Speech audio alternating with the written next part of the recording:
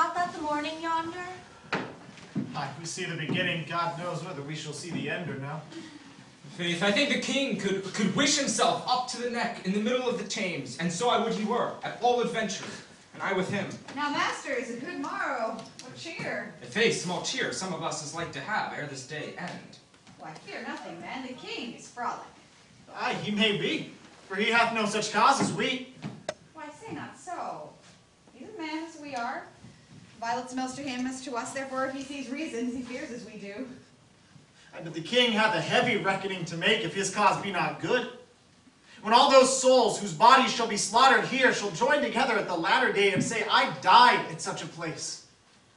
Some swearing, some their wives rawly left, some leaving their children poor behind them. Now, if his cause be bad, I think it will be a grievous matter to him. Why, so you may say.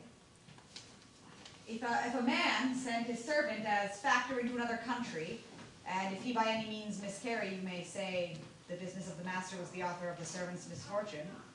Or if a son be employed by his father, and he fall into any leaved action, you may say the father was the, the author of the son's damnation.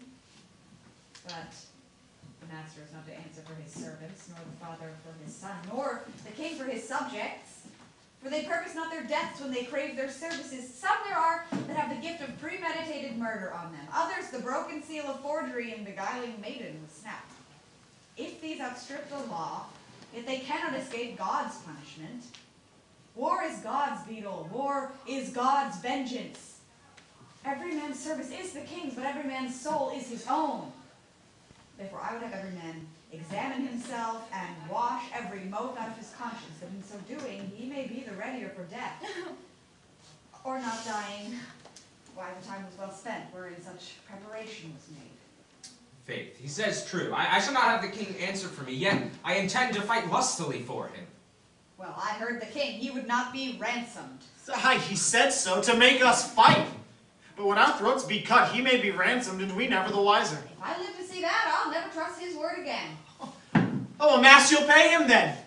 Tis a great displeasure that an elder gun can do against a cannon, or a subject against a monarch. Oh, you'll ne'er take his word again. You're an ass. Go!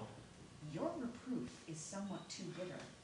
Were it not at this time, I could be angry. Why, let it be a quarrel if thou wilt. How shall I know thee? Here's my glove, which if ever I see in thy hat, I'll challenge thee and strike thee. Here is likewise another of mine, and assure thee I'll wear it. Oh, thou darest as well be hanged. Be friends, you fools! We have enough French quarrels at hand, we have no need of English broils. Tis no treason to cut French crowns. For tomorrow the king himself will be a clipper.